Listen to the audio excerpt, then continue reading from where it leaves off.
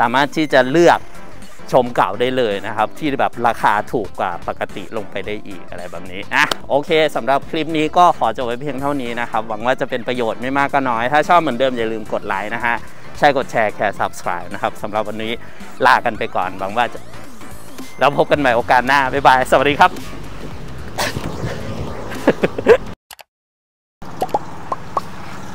ฮัลโหล สวัสดีครับทุกคนพบกันอีกแล้วนะครับกับร้านเอสในรายการปัจจัยที่ 6 ทางช่องท่องล่ากับร้านเอสและลอยป่าชานะครับ หลังจากที่เราพาชมรถยนต์ Suzuki Carry ปี 2021 หรือ 2022 หรือ 2020 สักอย่างนึงอะเนี่ยชมเนี่ยที่โชว์รูมกันไปแล้วนะครับเออตอนนั้นก็คือยังไม่ได้ซื้อไม่ใช่รถของตัวเองเนาะอันนี้ก็ไม่ได้ไม่ใช่ว่ารถของตัวเองรถ รถของที่บ้าน รถของพี่เขยพี่สาวนะครับอะก็เดี๋ยววันนี้จะมารีวิวให้ดูนะครับ สรุปสั้นๆ ง่าย ๆ เลยก่อนที่จะไปรับชมรีวิวนะครับ ก็คือเป็นรถกระบะที่ถูกที่สุดในท้องตลาดตอนนี้นะหนึ่งนะครับก็คือราคาสดนะแบบไม่ไม่มีส่วนลดอะไรเลยคือ 385,000 บาทนะครับ แล้วก็เอ่อแต่ว่าในความถูกนี้ก็มีหลาย ๆ สิ่งหลาย ๆ อย่างนะครับที่ ที่จะต้องทำใจยอมรับให้ได้ เออ จะมีอะไรบ้าง เดี๋ยวเรามาชมกันเลยนะครับนะก็เอ่อด้านหน้าก็ไม่มีอะไรก็หลักๆ คือไม่มีไฟตัดหมอกนะครับ ส่วนไฟส่องสว่างก็เป็นหลอดไส้อยู่ในโคม multi-reflector อะไรอย่างเงี้ย คือไม่ต้องพูดแล้วเพราะว่าพูดไปแล้วนะครับ เออคงไม่มีใครคาดหวัง ว่าจะได้ไฟ LED ในหลอดในโคมโปรเจคเตอร์อยู่แล้วใช่ไหม ในรถแบบราคาแค่นี้ แล้วก็รถแบรนด์นี้รถ segment ประมาณนี้อะไรเงี้ยนะครับ กระจกนะครับอะอันนี้ส่วนตัวเราซีเรียสนะ เอาจริงๆแล้วก็คือมันไม่ใช่แค่ไม่มีปรับไฟฟ้านะครับ เออ แต่มันมันมันมันไม่ใช่แค่ ไม่มีปรับ ไม่มีพับไฟฟ้าเออแต่มันไม่มีปรับไฟฟ้าด้วยก็คือเวลาเราจะปรับก็คือต้องใช้มือล้วนๆเนี่ยมือล้วนๆเออนะฮะอ่าแล้วก็ ข้างหลัง ข้างหลังรถกระบะที่แบบดีๆเขาต้องมีอะไรกันบ้างก็ไม่รู้อะเออจำไม่ได้เหมือนกันนะฮะแต่ว่าที่แน่ๆก็คือที่เติมน้ำมันนะครับ เวลาที่จะเติมน้ำมันเนี่ยเขาบังคับให้ ดับเครื่องเนาะซึ่งมันก็ปลอดภัยแหละนะฮะแต่ว่าบางทีเราก็ไม่ได้อยากถอดกุญแจไปให้เด็กปั๊มนะครับไปให้บริกรในสถานีจ่ายน้ำมันอะไรเงี้ยจับกุญแจของเราใช่ไหมยิ่งยุคนี้ช่วงนี้มันเป็นช่วงโอเคอะแล้วก็เออเนี่ยก็ต้องถอดกุญแจออกมานะครับ แล้วก็มาเปิดตรงนี้ เสร็จแล้วก็ยังไงอะ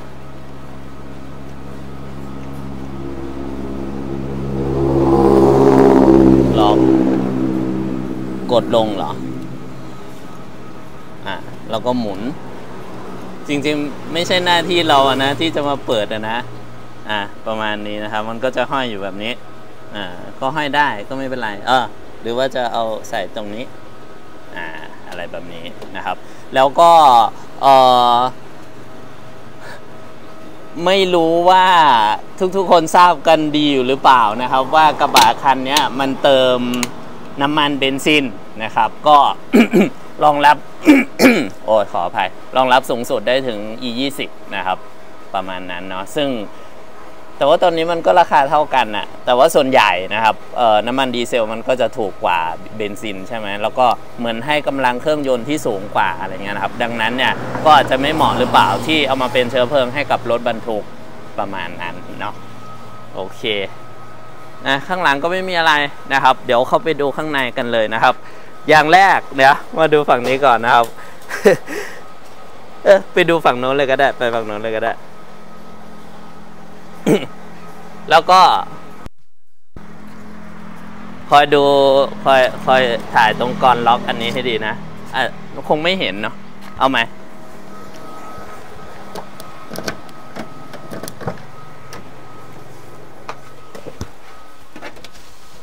ฟิล์มมันมืดไม่เห็นหรอกนะ คอยจับตาดูกลอนล็อกอันนี้ให้ดีนะครับ ตอนนี้มันล็อกอยู่นะ จริงๆ น่าจะพอรู้แล้วแหละ จะบอกว่ามันไม่มี central lock นะครับ ซึ่งเป็นอะไรที่แบบ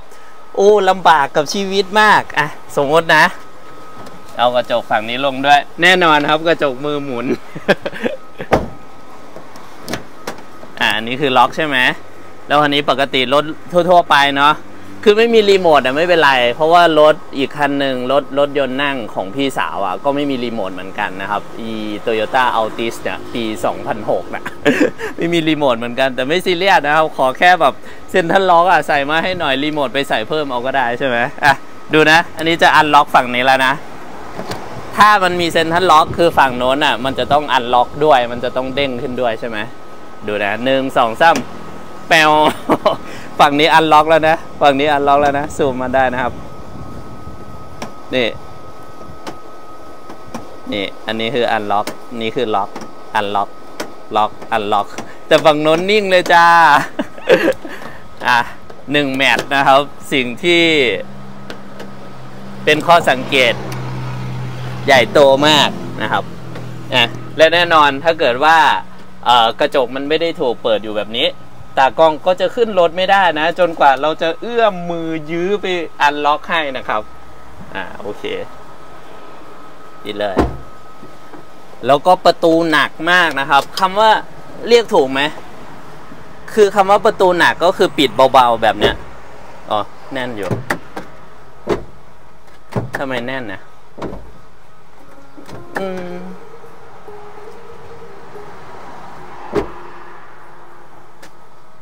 เออแน่นก็แน่น คือแต่ว่าบ่อยครั้งมากนะครับ โดยเฉพาะแบบผู้หญิงหรือเด็กอะไรเงี้ย ดึงเข้ามา มันจะไม่แน่นนะครับ คือแบบต้องแบบ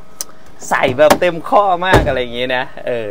อะ เดี๋ยวจะสตาร์ทเครื่องนะครับ เพราะว่าเดี๋ยวมันจะร้อนนะ โอเค ใช่ ปิดกระจก ใช่ กระจกก็แน่นอนครับมือหมุน หมุนกันไปนะครับ แต่ก็ดี เออ ก็ ถ้าเป็นกระจกไฟฟ้าคือถ้าเราไม่สตาร์ทเครื่อง ไม่ไม่เอากุญแจมาเสียบแล้วบิดไปที่ออนอะไรเงี้ยเออไม่สวิชออนเครื่องยนต์นะครับ มันก็จะ มันก็จะเปิดปิดกระจกไม่ได้เลยนะครับ แต่ว่าอันนี้ก็คือเปิดปิดกระจกได้เนาะโดยที่ไม่ต้องแบบเสียบกุญแจเลยอะไรแบบนี้นะครับนะแล้วก็เออลำโพงส่วนตัวเราก็ไม่ได้ซีเรียสว่ามันจะต้องมี สี่ดอกให้เสียงกลาง แล้วก็สองดอกให้เสียงแหลมอะไรเงี้ยรวมเป็น 6 ดอกในรถยนต์อะไรเงี้ยนะครับโดยเฉพาะมันเป็นรถยนต์ตอนเดียวแบบนี้เออรถหัวโตแบบนี้นะครับก็ 2 ดอก 2 ตัวเสียงกลางก็พอแล้วนะครับ ให้เสียงที่โอเค พอฟังได้นะฮะแต่ถ้าไม่ถ้าไม่มีเครื่องเสียงมาให้เลยเนี่ย เราเราจะบ่นนะ เราจะซีเรียสนะครับ แต่ว่าอันนี้ก็โชคดีนะครับ ให้เครื่องเสียงมาเป็นแบบ ดินเดียวนะ แต่ว่าช่องเนี่ยเขาเป็นให้แบบ 2 ดินนะ คือถ้าเราจะไปเปลี่ยนเป็นแบบหน้าจอสัมผัสอะไรเงี้ยก็คือสามารถทำได้นะครับ ยกชุดนี้ออกไปได้เลยนะ อืม แต่ว่าส่วนตัวไม่ไม่ซีเรียสไม่ไม่ค่อย ไม่ค่อยดูอะไรอยู่ในอยู่ในไอ้นี่อยู่แล้วอะอยู่ในรถยนต์อยู่แล้วนะครับ ไม่เคยดูวิดีโอดูหนังอะไรอยู่ในรถยนต์อยู่แล้ว โดยเฉพาะอย่างยิ่งถ้าเป็นคนขับนะครับ เพราะว่าทราบดีว่ามันเป็นเรื่องของความปลอดภัยอะไรแบบเนี้ยนะ อืมถ้าโมวแต่ไปดูอยู่ตรงนั้น หน้าจอตามองอยู่ตรงนี้โน่นรถข้างหน้าก็ต้องดูอะไรแบบนี้นะโอเคแอร์ก็เป็นแมนนวลก็ไม่ซีเรียสเช่นเดียวกันนะครับ ขอแค่ให้เย็นพอนะ อืมก็ปรับมือกันไปนะครับ ก็มีช่องแอร์สี่ช่องนะฮะให้ปรับเนาะแล้วก็ที่ชอบมากเลยนะครับก็คือเป็นกระบะตอนเดียวที่แบบสามารถนั่งได้ ถ้าตามกฎหมายคือนั่งได้ 3 คนนะครับ ก็คือที่ตากล้องนั่งอยู่ แล้วก็ตรงนี้แล้วก็คนขับ นะครับ แล้วเราก็เลยสงสัยว่า เอ้ยทำไมรถทั่ว ๆ ไปอะไม่ให้มันมีที่นั่งแบบนี้ หรือว่ามันตมันจะต้องจดทะเบียนเป็นรถอีกประเภทหนึ่งเหรอทำให้ค่าจดทะเบียนมันแพงขึ้นเหรอหรือว่ายังไงนะครับก็อย่างอย่างรถเราอะไอ้โน้ตอะนิสสันโน้ตอะก็ถ้าทำข้างหน้าให้เป็นแบบนี้ก็คือ แต่ว่ามันก็ต้องปรับเยอะอยู่เหมือนกัน อย่างเช่น ปกติเกียร์อยู่ตรงนี้ใช่ไหมก็ต้องย้ายเกียร์มาไว้ตรงนี้อะไรแบบนี้นะฮะประมาณนั้น เนาะเพื่อที่จะมีที่นั่งเพิ่มข้างหน้าอีกหนึ่งที่อย่างเงี้ยนะแต่ว่ากำลังเครื่องยนต์แค่พันสองก็อาจจะหนักเกินไป ถ้าเกิดว่าต้องแบกรับน้ำหนักของคน โดยเฉพาะถ้าคือเอ่อพอมีที่นั่งมาหกที่มันก็ไม่ได้บอกใช่ไหมว่า เอ้ยที่ที่ห้าและหกอะ จะต้องควรจะต้องเป็นเด็กนะอะไรเงี้ยหาหมอถ่ายเอกสารนะหยุดก่อนแป๊บนึงรอเนี่ย ถึงไหนก็ไม่รู้ แต่ที่รู้ๆคือเมื่อกี้ไม่ได้ใส่แมสตอนนี้ใส่แล้วล้างมือก่อนจับหนึ่งเอ่อต่อไปอะไรดีอะ เครื่องเสียงแล้วกันเนาะเออแอร์แบ็กแอร์แบ็กแอร์แบ็กคือไม่มีนะครับ ไม่ต้องคาดหวังเนาะว่าจะมีนะครับ แต่ว่าเราก็ไม่คาดหวังนะฮะ คือเอาจริงว่าเอ่อให้เลือกระหว่าง Airbag กับ Keyless หรือ Push Start อะไรเงี้ยเราขอเป็น Keyless Push Start ไม่เห็นแก่ชีวิตของตัวเองเลยอะมาที่เครื่องเสียงนะครับ เครื่องเสียงก็คือแต่ว่าแต่ว่าเออย้อนมาที่พวงมาลัยนิดนึงไหนๆพูดแล้วนะครับ เออแล้วก็มันเป็นอะไรที่แบบมองไม่เห็นไม่มองไม่เห็นด้วยตาเปล่าด้วยนะครับเออสำหรับระบบที่มันมีอยู่ก็คือมันเป็นพวงมาลัย power นะครับก็คือเบาแรงฮะเวลาหมุนเวลาบิดอะไรเงี้ยอันนี้คือสตาร์ทเครื่องอยู่มันก็เลยหมุนได้อิสระ แต่ว่าถ้าดับเครื่องอยู่หมุนไปสักพักหนึ่งมันจะล็อกอันนี้ทราบกันอยู่แล้วเนาะ แล้วก็เครื่องเสียงนะครับที่ติดมากับรถยนต์เนี่ยก็คือเป็นยี่ห้อ Pioneer นะครับ เป็นแบบ DIN เดียวนะออรองรับการใช้งานกับไม่ไม่รองรับบลูทูธอะแต่ว่ารองรับแบบแฟลชไดร์แล้วก็ AirPod อะไรเงี้ยนะครับ AirPod ก็คือการใช้สาย Data ของ iPhone อะสาย Lightning to USB A นะครับ มาต่อตรงนี้เนี่ยเสียบเข้าไปตรงเนี้ยอ่าแล้วก็กดปุ่ม Source นะครับ ออมันมันจะไม่ขึ้นเลยถ้าเราไม่เสียบ อ่า กดปุ่มซอสนะครับ พี่ลองเอาขึ้นสุดดิมันไม่จะไม่ดังมากไหมมันมันจะมันจะติดลิขสิทธิ์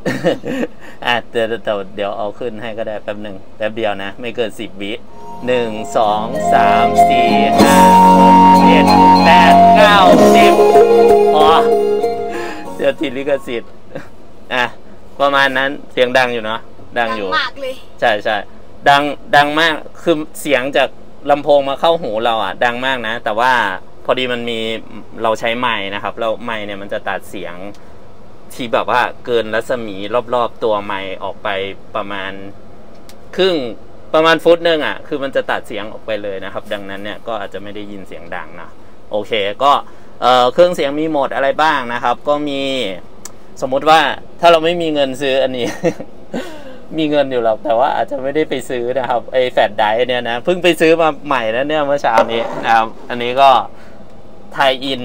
ไทยอินทำไมไม่ได้ขายก็โฆษณาช่วยแล้วกันนะครับไปรษณีย์ไทยนะ ที่ไปรษณีย์ไทยมีขาย 179 บาทนะครับ ก็ 80 เพลงนะอืมอันนี้เพิ่งซื้อมาใหม่ๆ สดๆร้อนๆเลย แต่ว่าถ้าเราไม่ใส่อันนี้นะครับ ก็มี AUX in นะ ก็คือ มันจะต้องใช้สาย 3.5มิลลิเมตร to 3.5มิลลิเมตรนะครับแบบ TRS มั้งก็คือแบบ 2 ขีดสีดำๆนะเออแจ็ค 3.5 น่ะ แจ็คหูฟังอะเออสองสองฝั่งอะเป็นเป็นแจ็คหูฟังสองฝั่งนะครับ เสียบฝั่งนึงฝั่งหนึ่งก็เสียบกับเครื่องนี้ อีกฝั่งหนึ่งเสียบกับมือถือ ก็เปิดเพลงได้เช่นเดียวกันนะครับ เปิดเพลงจากมือถือได้เช่นเดียวกัน หรือว่าจะเปิดเป็นวิทยุก็ได้นะฮะหรือถ้าเราเสียบ iPhone อยู่หรือเสียบแฟลชไดรฟ์อยู่ก็จะเป็นโหมดนี้นะ iPod USB อ่าประมาณนี้มี 3 โหมด ใช่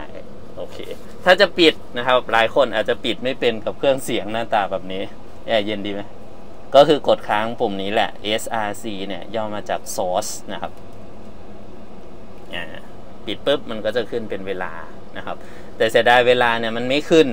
ตลอด มันไม่ขึ้นตอนเปิดเครื่องด้วย เพราะว่ามันไม่มีนาฬิกาเลยในรถคันนี้นะครับอะเดี๋ยวอันนี้พี่ถือกล้องเองนะครับ มาที่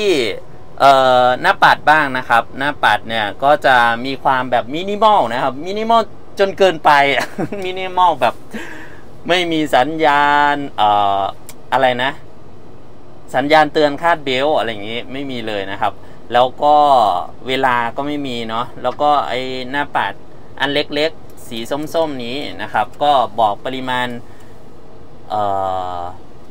น้ำมันเชื้อเพลิงที่เหลืออยู่ในถังนะครับ เป็นแบบดิจิตอลเนาะแล้วก็บอก odometer คือระยะทางที่วิ่งไปทั้งหมดนะครับ อันนี้ทริป A ทริป B บอกได้แค่นี้ 3 ค่า 3 อย่างนะครับ แล้วก็อีกอันหนึ่งที่มัน เออ ก็คือตำแหน่งเกียร์นะครับ อีกอันหนึงที่อยากให้มีมากเลยเนาะเพราะว่าเเกียร์เนี่ย มันใกล้กันมากนะครับ คือตำแหน่งของเกียร์เกียร์เป็นแบบนี้เนาะห้าสปีดเนาะรวมถอยก็หกใช่ไหมแล้วตำแหน่งมันใกล้กันมากนะครับ คือถ้าดูอย่างเงี้ยแล้วมันไม่ได้จอดอย่างเงี้ย เราก็เดาไม่ออกเลยนะ ว่ามันเป็นเกียร์ว่างอยู่อะไรเงี้ยนะครับ อืม ดังนั้นเนี่ยอยากให้มีไฟบอกตำแหน่งเกียร์นิดนึงให้ขึ้นมาตรงหน้าจอนี้นะครับ แล้วก็รอบก็ไม่มีนะ รอบพอรอบไม่มี เอ่อถ้าถ้าไม่มีตำแหน่งเกียร์แต่ว่ามีเข็มวัดรอบบอกอะไรเงี้ยเราเรายังจะพอเราเราๆได้นะว่าอ๋อตอนนี้มันน่าจะอยู่เกียร์ต่ำนะ เพราะว่าความความเร็วแค่นี้แต่รอบสูงมากอะไรเงี้ยเอออันเนี้ยคือเราก็ไม่ได้ เราก็ไม่ได้รู้แบบเป็นกูรูนะครับ แต่ว่าอาศัยประสบการณ์เนาะครูพักรักจำมานะครับ ก็คือถ้าสมมุติว่าความเร็วต่ำๆความเร็วต่ำมาก แต่รอบแบบพุ่งขึ้นไปสูงมากอะไรเงี้ย แสดงว่าเรากำลังลากรอบลากเกียร์อยู่ประมาณนั้นนะครับ อืมกำลังจะบอกว่าถ้าไม่มีไฟบอกตำแหน่งเกียร์ก็มีไฟบอก เอ้ย ก็มีเข็มวัดรอบบอกนิดนึงอะไรเงี้ยนะ อ่าโอเค แล้วก็มีช่องจ่ายไฟขนาด 12 โวลต์ให้มา 1 ช่องนะครับ ก็หาตัวแปลง ถ้าเกิดว่าจะแปลงเป็นแบบ เอ่อ USB A นะครับนี่เพื่อชาร์จไฟอะไรต่างๆ ก็หามาเสียบแล้วก็เสียบเข้าไปอย่างนี้ได้เลยนะครับ ไม่ได้ทดลองให้ดูเนาะหลายอย่าง อันนี้ก็จริงๆก็ควรจะทดลองให้ดูเนี่ย iPod เนี่ยนะโหมด iPod เนี่ยส่วนตัวก็ไม่เคยใช้เหมือนกัน เพราะว่าเอ่อมีรถปุ๊บ มันก็มาพร้อมกับไอ้นี่เลยนะครับ พร้อมกับหน้าจอเลยนะ อืม เครื่องเสียงแบบหน้าจออะไรเงี้ยนะอะปิดไว้ก่อน แล้วก็กระจกมองหลังนะครับ ไม่ต้องคาดหวังว่าจะมีการพับแบบอัตโนมัติไม่มีแน่นอนไม่เออไม่ใช่พับอัตโนมัติ ลดแสงสะท้อนอัตโนมัตินะครับ แต่อยากให้เออแต่ลดแสงอัตโนมือก็ควรจะมีมาให้ไหมคือถ้ามันมีนะมันจะมีก้านมาตรงนี้ใช่ไหมครับ เวลาเราจะเปิดใช้งานเราก็กดตึ๊ก มันก็จะดึกขึ้นมาอย่างนี้ ซึ่งอันนี้คือไม่มีเลยนะครับอ่าไม่มีเลยก็ปรับปรับเอาอย่างนี้เอ๊ะไม่ไม่สามารถทำได้ด้วยนะนี่เหรอประมาณนี้เหรอ ไม่ได้อะ มันไม่มีองศาไหนที่จะทำได้เลยอะลดลดแสงแบบอัตโนมือนะครับ แต่ว่าน้องก็ยังอุตส่าห์มีไฟไฟเอ่อไฟอะไรนะ ไฟแผนที่มาให้นะครับ เออซึ่งก็มีมีแค่ตรงนี้แหละนะครับ แล้วก็มีแค่เปิดกับปิด ไม่มีสัมพันธ์กับเอ่อการเปิดประตูนะครับ คือรถหลาย ๆ รุ่นในปัจจุบันนี้จะมีตำแหน่งกลางใช่ไหมแต่เวลาเราเปิดประตูหรือปิดประตูไม่สนิทอะไรเงี้ย เออ ก็จะเช็คจากไฟตรงนี้ได้ ไฟแผนที่ไฟเก๋งอะไรได้นะครับ นี่ก็มีแต่เปิดกับปิดเท่านั้นนะ อ่าส่วนที่บังแดดนะครับก็มีขนาดยาวใหญ่ดี เพราะว่ารถก็กว้างแหละกว้างจนแบบสามารถนั่งได้สามคนนะครับอืมแต่ว่าสิ่งที่ขาดไปเลยก็คือกระจกเอ่อกระจกสองหน้าในที่บังแดดนะครับ ซึ่งเท่าที่จำได้นะเออร์ติก้านะก็ไม่มีนะครับ ในตำแหน่งของคนขับเลยนะ ที่บังแดดของคนขับอะ่ะไม่มีกระจก ไม่มีกระจกเงานะครับ อืม สำหรับเออร์ติก้านะครับ ดังนั้นเนี่ยก็ก็อาจจะเป็นเรื่องราวที่แบบว่า เป็นจุดสังเกตของของรถซูซูกิหรือเปล่าอะไรเงี้ยนะครับอะแล้วก็ถ้าสังเกตให้ดีนะครับ รถคันนี้คือไม่มีการบุพลาสติกเลยนะ ปกติเนี่ย เราจะมีบุพลาสติกนะอย่างน้อยก็เป็นแบบแข็งใช่ไหมแต่ถ้าดีๆหน่อยก็อาจจะเป็นซอฟ t ์ทัชอะไรเงี้ยนะครับ ที่เขาชอบพูดกันเนี่ย ตรงนี้ไม่มีตรงนี้เสา A อะไรเงี้ย สา B อะไรเงี้ย คือไม่มีเลยนะ นี่เป็นสาเหตุที่ทำให้อ๋อถึงบางอ้อเลยอ๋อทำไมมันถูกรู้แล้วอะไรเงี้ยนะ อืมอะเดี๋ยวจะมีโฉมก่อนหน้านั่นนะกำลังจะวิ่งไปนะครับ อันนั้นคือโฉมก่อนหน้า ส่วนตัวเราว่าอันนั้นน่ะน่ารักดี แต่ว่าถ้าจำไม่ผิดอันนั้นคือเครื่อง 1.4 มั้ง อืม แต่ว่าอันนี้เครื่อง 1.5 หรือ1,500นะครับ ก็ก็จะดีขึ้นอะไรเงี้ยนะกำลังก็จะแรงขึ้น แต่ว่าก็อาจจะ เปลืองน้ำมันขึ้นหรือเปล่าไม่รู้ อืม แต่ทั้งนี้ทั้งนั้นมันต้องดูน้ำหนักมาคำนวณร่วมกันด้วยนะเออถ้าเกิดว่าน้ำหนักเยอะ แต่ว่ากำลังเครื่องน้อยอะไรเงี้ยก็อาจจะเป็นแบบเนาะหัวใจเหมือนเหมือนคนตัวใหญ่ ๆ แต่ว่าหัวใจดวงเล็ก ๆ อย่างเงี้ยเออเดินนิดเดินหน่อยก็เหนื่อยง่ายประมาณนั้นนะครับ ก็เปลืองพลังงานนะพูดง่าย ๆ นะครับอะประมาณนี้แล้วก็ เออแต่ถามว่ามันเป็นอะไรที่แบบ รับไม่ได้เลยไหมกับการที่ตรงเนี้ยเป็นเหล็กบางเลยอะ่ะเป็นเหล็กเลยอะ่ะก็ไม่นะครับ รู้ไหมรถอะไรที่มันเป็นแบบเนี้ย Volkswagen Beetle รถเต่าอะแต่รถเต่าเป็นแบบนี้เลย ข้างในก็คือจะเป็นสีสีแบบสีเดียวกับตัวรถข้างนอกเลยอะไรเงี้ยเนาะเขาเรียกสีเหล็กบางนะครับ อืมอะแล้วก็เบาะนะครับ เบาะของคนขับเนี่ย สามารถเลื่อนปรับได้นี่ เลื่อนเลื่อนได้ สมมติว่าขาเราสั้น ขาแบบเหยียบไม่ถึงคันเร่งคัชเบรกอะไรเงี้ย ก็เลื่อนไปได้นะครับ แต่มันมีสลักตรงเนี้ย มันเหมือนจะแบบให้เราอะเอ็นได้ แต่มันมันเอ็นไม่ได้ไหมไม่รู้เหมือนกันนะเนี่ยมีสลักตรงเนี้ยเหมือนจะแบบ เอ๊ะให้ดึงเพื่อเอ็นแต่มันก็เอ็นไม่ได้ นะมันก็เนี่ยแหละสไลด์ได้อย่างเดียวนะครับ โอเคอ๋อแล้วก็คันนี้นะ ไม่ได้เชื่อว่ามันจะมีคือเมื่อวานน่ะ เราค้นคนพบโดยบังเอิญนะครับ ก็คือมันมีสัญญาณเบรกมือเนี่ย มันจะมันจะมีไฟอยู่แล้ว อันเนี้ยเหมือนเป็นแบบ เออมีกันทั่วไป มีกันทั่วหน้านะ คือรถอะไรก็มีนะฮะแต่ว่าที่เราแบบเซอร์ไพรส์มากก็คือเดี๋ยวพาขับไปรอบหนึ่ง เดี๋ยวเรื่องกันที่เราเซอร์ไพรส์มากก็คือ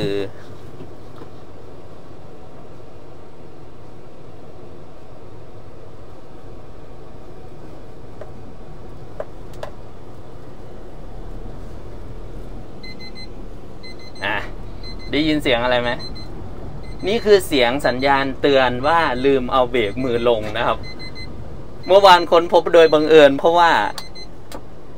ลืมเอาลงขับไปรับหลานที่โรงเรียน แล้วตอนขากลับคือลืมเอาลง แล้วมันก็ดังติดติดติดติดอยู่ตลอดเวลาประกอบกับตอนนั้นคือน้ำมันกำลังจะหมดนะครับ ก็เลยคิดว่าอ๋อสงสัยเป็นแบบสัญญาณเตือนน้ำมันหมดมั้งอะไรแบบนี้นะอะนี่คือสิ่งที่เรายังไม่ได้โชว์อีกอย่างหนึ่งตอนที่พาชมใช่ไหมตอนที่ถ่ายคลิปรีวิวพาชมที่โชว์รูมก็คือการขับ การพาขับนะครับ วันนี้ได้ชมแล้วได้พาขับแล้วนะก็ดูเอาละกันนะครับว่า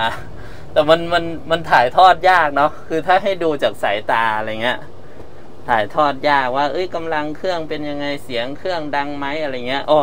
แล้วก็เพื่อนของเราอีกคนหนึ่งที่ระยองก็คือเพิ่งถอยมาเนาะแล้ว เออเขาก็พูดคำแรกเลยนะ คือไปซื้อที่โชว์รูมชนบุรีก็ขับไกลอยู่นะครับระยองชนบุรีก็ห่างกันประมาณร้อยกิโล คนละจังหวัดนะแต่แต่ของเรานี่จังหวัดเดียวกันจากอำเภอของเราไปอำเภอเมืองร้อยกิโลคำแรกเลยที่เขาพูดออกมาก็คือ เสียงข้างนอกอะ ดังเข้ามาชัดมากอะไรอย่างเงี้ยนะคือแบบคน ติดไฟแดงเนาะแล้วมีคนนั่งอยู่ข้างๆ นินทาอะไรเงี้ย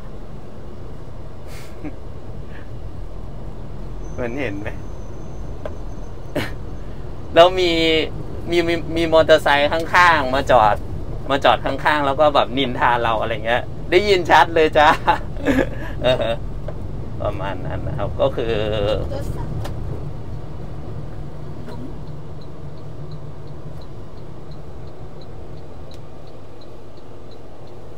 อืม แม่ครับ เด็กผู้หญิงคนนั้นคือใครอะ ไม่ใช่ ไม่ใช่ไหมครับอ้าวเหรอหน้าคล้ายเฉยอ๋อเหรอ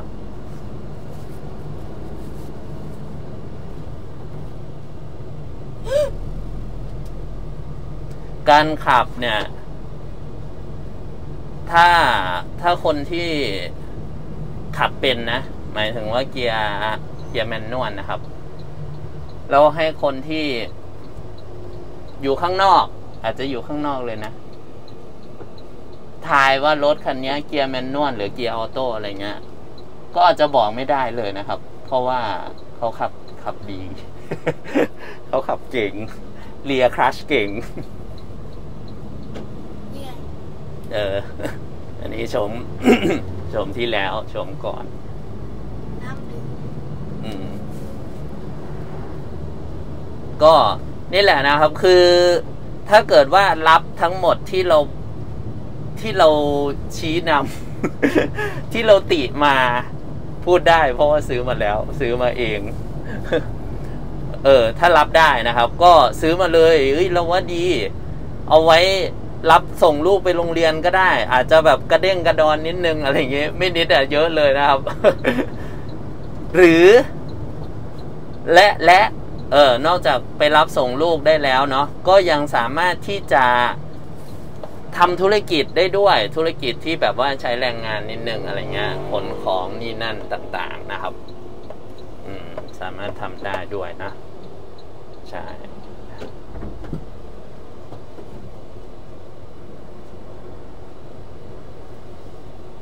สำหรับอัตราสิ้นเปลืองนี้นะครับ ยังไม่เคยเก็บข้อมูลวัดข้อมูลที่ ที่แบบแน่ชัดเนาะอืมก็ถ้าจะทำจริง ๆนะครับ มันก็ต้อง เอ่อเติมน้ำมันให้เต็มถังเนาะแล้วก็จับทิป A ทิป B อะไรเงี้ยนะครับ แล้วก็เอากิโลที่ได้ทั้งหมด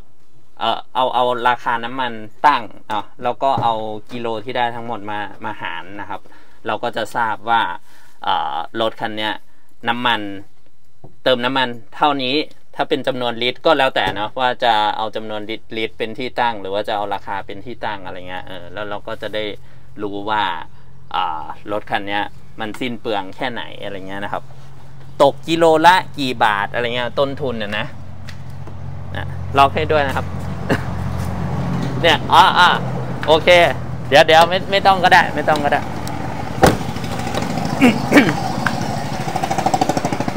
อะ เดี๋ยวจะมาบอกเคล็ดลับวิธีนะครับ ถ้าเกิดว่าเเราไม่อยากเราเป็นผู้โดยสารเนาะแล้วก็ไม่อยากเป็นภาระให้กับคนขับนะครับ เวลาที่นั่งรถที่มันไม่มีเซ็นทรัลล็อกแบบนี้นะครับ สามารถแบ่งเบาภาระคนขับได้นะครับ โดยการล็อกช่วยคนขับนะ แต่ว่าไม่ใช่แบบกดล็อกอย่างนี้ แล้วก็ปิดเข้าไปเลยนะ เพราะว่ามันจะเป็นอย่างนี้อ่าเดี๋ยวตักออโต้มาฝั่งนี้ รอโฟกัสตรงนี้นะ อ่าถ้ากดถ้าเรากดล็อกนะครับ แล้วเราปิดประตูเข้าไปแบบนี้ ตึกมันจะเด้งขึ้นมาเห็นไหมมันก็ไม่ล็อกเนี่ยนะครับ สิ่งที่เราต้องทำก็คือ เราต้องกดล็อกลงไปกึกแล้วก็ง้างอันนี้ออกมานะครับ แล้วก็ดันประตูเข้าไปทั้งทั้งที่ง้างอยู่นะ ต้องทำสองอย่างนะครับอ่าล็อกเสร็จแล้วนะครับ แต่เหนื้อสิ่งอื่นใดอย่าลืมเอากระจกขึ้นนะ แต่อันนี้คือถ้าเอากระจกขึ้นเดี๋ยวมันมองไม่เห็นกรอนกรอนล็อกข้างในนะครับ ก็เลย ยังไม่ได้เอาขึ้นให้ดูนะโอเค เอาขึ้นก่อน หลานไม่ได้ให้ไปรับนะแม่ เพื่อนจะกลับกับเพื่อนอืมเพื่อนหรือผู้บ่าวไม่รู้ เอออะโอเคนะครับ ก็แล้วก็เอ่อกระบะท้ายทราบกันดีอยู่แล้วเนาะว่ามันสามารถเปิดออกได้ทั้ง 3 ฝั่งนะครับอ่า แต่ว่าคราวเนี้ยหลายคนก็จะคิดว่า อุ้ยแล้วแล้วอย่างนี้มันจะปลอดภัยเหรอ เออสมมุติว่าเราไม่ได้ตั้งใจจะเปิดอะแล้ว แต่ว่าแต่ว่าเราปลดกลอนออกมาแล้วอะไรเงี้ยมันจะมันจะปึ้งออกมาหรือเปล่านะครับ ไม่นะ เพราะว่ามันจะมี safety ตรงนี้นะครับเห็นไหมอันเนี้ยอ่าก็จะเป็น safety นะครับ แล้วก็เอ่อถ้าไม่ได้ขับรถไป ถ้าไม่ได้ขับรถไปอย่างเงี้ย การที่มันล็อกอยู่ฝั่งหนึ่งน่ะ ก็เพียงพอสำหรับการที่ไม่ให้กระบะมันพังลงมานะครับ ไม่ให้กระบะมันเปิดออกมาโดยไม่ได้ตั้งใจนะ โอเคนะสำหรับคลิปนี้ก็ขอจบไว้เพียงเท่านี้แล้วกันนะครับ หวังว่าจะเป็นข้อมูลที่เป็นประโยชน์ กับเพื่อนๆไม่มากก็น้อยนะครับ กับการหารถ อเนกประสงค์นะเขาเราขอเรียกแบบนี้เลย เพราะว่ามันสามารถนั่งโดยสารก็ได้ 3 คนอย่างที่บอกเนาะหรือถ้ามีซีเรียสเรื่องความปลอดภัยเรื่องกฎหมายเรื่องจำนวนbelt หรือเข็มขัดนิรภัยอะไรเงี้ยก็อัดไปเลย 4 ได้แล้วว่านะครับอ่าแล้วก็สามารถบรรทุกได้ด้วยนะครับอ่า ก็ซื้อได้เลยนะครับ 3 8 5 0 0 0 บาทเนาะแต่ถามว่ามันเป็นรถที่ถูกที่สุดหรือเปล่าไม่นะครับ รถที่ถูกที่สุดคือซูซูกิค่ายเดียวกันนี่แหละ Celerio นะครับ รุ่นล่างสุดอะรุ่นกระจกมือหมุนเหมือนกัน แล้วก็เกียร์ manual ล้อกระทะ ไม่มีฝาครอบด้วยมั้งอะไรประมาณประมาณนั้นนะฮะถูกมากอันนั้นถ้าจะไม่ผิด3ามแสนห้ามั้งประมาณนั้นนะฮะก็ลองหาข้อมูลเพิ่มเติมแล้วกันนะยุคข้าวยากหมากแพงแบบนี้นะครับ ภาพลักษณ์ไม่ต้องไปสนใจมันนะครับ เอาแบบ เอ้ยแค่แบบเราไม่ต้องตากแดดตากฝนอะไรอย่างงี้ก็พอไหมอะไรเงี้ยนะครับ เออไม่ต้องแบบเนื้อหุ้มเหล็กก็พอไหมอะไรเงี้ยเอออยากมีรถยนต์ขับแอร์เย็นๆอย่างเงี้ยนะประมาณนั้นก็สามารถที่จะไปดูกันได้นะครับสำหรับ Celerio นะรวมทั้ง Carry ด้วยนะครับ Celerio นิดนึงนะก็มีข่าวว่าจะมี เอ่อ all new Celerio นะครับเป็นแบบ model change คือเปลี่ยนใหม่หมดทุกอย่างอะไรเงี้ยกำลังจะเข้ามาจำหน่ายในไทยน่าจะภายในปี 2022 นี้แหละนะครับ ก็ติดตามข้อมูลให้ดีนะครับ นั่นหมายความว่าถ้าตัวใหม่เข้ามาตัวเก่าที่ยังค้างสต็อกอยู่ ราคาก็จะลดลงไปอีกนะครับ ถ้าเกิดว่าเราไม่ได้ซีเรียสเรื่องความสดใหม่อะไรเงี้ยสามารถที่จะเลือก ชมเก่าได้เลยนะครับ ที่แบบราคาถูกกว่าปกติลงไปได้อีกอะไรแบบนี้อะโอเคสำหรับคลิปนี้ก็ขอจบไว้เพียงเท่านี้นะครับ หวังว่าจะเป็นประโยชน์ไม่มากก็น้อย ถ้าชอบเหมือนเดิมอย่าลืมกดไลค์นะฮะใช่กดแชร์แชร์ subscribe นะครับสำหรับวันนี้ลากันไปก่อน หวังว่าจะแล้วพบกันใหม่โอกาสหน้าบ๊ายบาย สวัสดีครับ